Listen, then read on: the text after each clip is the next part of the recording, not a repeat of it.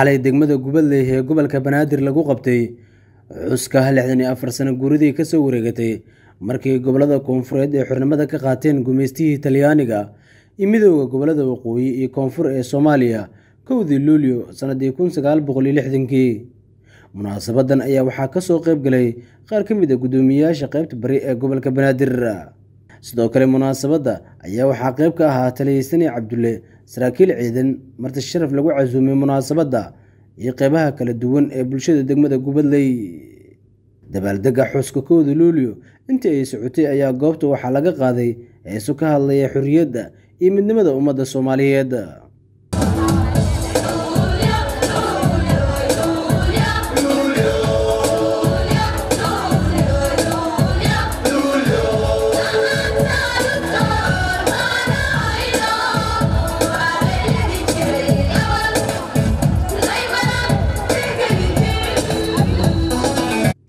guddoomiyaha degmada yaakshiid saleebaan fargax oo ku hadlayay magaca guddoomiyeyaasha qeybta bari ee gobolka banaadir ayaa shacabka degmada gubadley waxa uu ku dhiirigeliyey sida qiimaha badan ay u xusayaan munaasabadda kooda luulyo.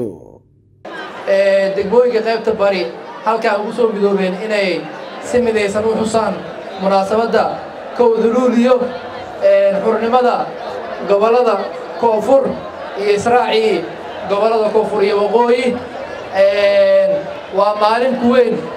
Shacbiga soomaaliyeed meel walba ay joogaan.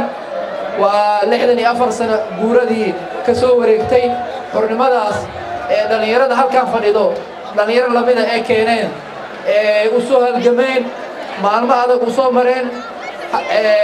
Inaan middaas wada xusnaan halkaan u nimid ilaahay ku mahadsan amniga iyo nabadda iyo nimcadana siiyey ah halkaan ku wada xusayno munaasabadda kooda luuliyo intaas kadib waxaan u mahad celinaynaa shacbiga degmada gubadley sida nidaamka iyo dowladnimada iyo iyo daljeceelka halkaan u soo camiray sida quruxdu badan halkaan nidaamka u fadhiyo ayagoo cidna qasbaynin. Hadda labiiyo tobanka habeenimo ama lixi saac loo sii dhow? Halkaan si nidaamsan u jooga waa ku mahadsan yihiin. Intaas kadib lixdan iyo afar sano kadib soomaaliya xornimada ee qaadatay kadib waxyaabihii ahdaaftii laga lahay xornimada ma la gaaray. Waxaa la rabaa shalay haddee dhallinyaro annaga nalamida xornimada keeneen ka shaqeeyeen heerkan waddanka soo gaarsiiyeen annaga kaalinteen maxay tahay marka maanta? Xornimadaas iyo amnigaas iyo nabaddaas ee dhiigga u soo daatay ee gumaystihii talyaaniga iyo ingiriiska ee hadda kuwa naqashqashaadaya ee khawaarijta ugu horreeyaan ee ka xoog badnaay ay ka diideen dhallinyarada annaga la mid kahay maanta waxaa u ogolaanaynaa khawaarij waddankeena inay qasto. Ma al-shabaaba waddankeena inay qastaan u ogolaanayna waa maya. Waxaa la rabaa xurnimadaas ee dhiigga ku daadatay ee dhibaatada loo soo maray dhammaanteen dhallinyarada soomaaliyeed gaar ahaan inaan ilaalino amniga iyo nabadda ka wada shaqayno horumarka iyo midnimada aan dhammaanteen u diyaar u ahaano. Shacbiga degmada gubadley si gaara waxay ugu astaysan yihiin amniga amnigana wuxuu ka yimaadaa bulshada bulshada degmada gubadley sida amniga ee ayaga u lahaadeen ee ugu shaqeeyaan ee amnigooda mar walba u ilaashadaan waa ku mahadsan yihiin waxaa la rabaa degmo kastoo gobolka banaadir ku taalan sidaas oo kale. Amnigooda inay ayaga yeeshtaan bulshada la rabaa. Dhallinyarada soomaaliyeedna mas'uuliyad gaar inay saaraan oo dalkan sida khawaarijta looga xurey lahay in aan u tafaxeedano oo aan u midownaan laga rabaa. Cabdulaahi kaalibe oo ah guddoomiyaha degmada gubadley ayaa waxa uu ku dheeraaday ahmiyadda ay leedahay xuska maalintan weyn oo ah markii gobollada koonfureed. Xornimada ka qaateen gumaystihii talyaaniga iyo midoogii gobollada waqooyi iyo koonfur ee soomaaliya kowdii luulyo sannadii kun sagaal boqol iyo lixdankii. Waxauna sheegay in degmada gubadley ay markii ugu horreysay markii loo aqoonsaday degmo ay caawa u dabaaldegayso.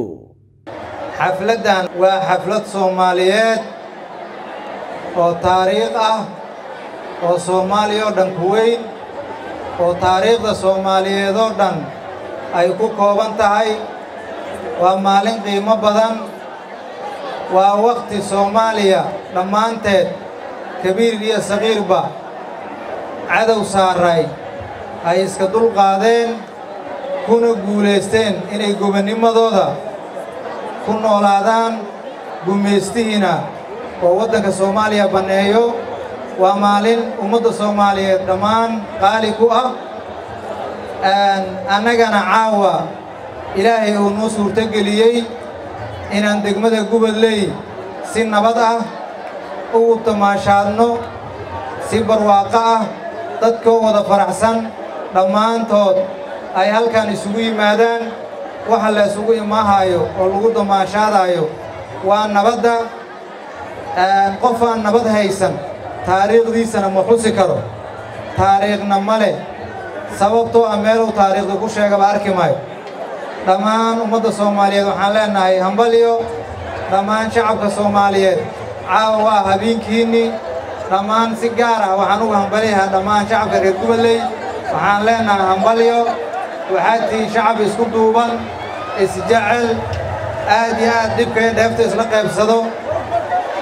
Waa habeen idiin taariikhiya maadaama cirka sayma ka yimideen waxay sheegaysaa waa mandar ilaahay keena qeyr ilaahay soo diray in xafladdan dad isu qalbi fayow oo wanaag badan oo sharafle ay ku sugan yihiin wax dembiyana aan lagu sheegayn balse farxadda ummadda soomaaliyeed gaar ahaan shacabka gubadley farxaddooda ay la qaybsanayaan ummadda soomaaliya halkan ku soo bandhigaayeen dhammaantiinna waxaan idin leennahay aad iyo aad aa u mahadsan tihiin waxaan idinkula dardaarmaynaa inaad midnimadiinna ilaashataan midnimada soomaaliyeed ilaalisiin dadku markay mid yihiin ayay wax samaysan karaan.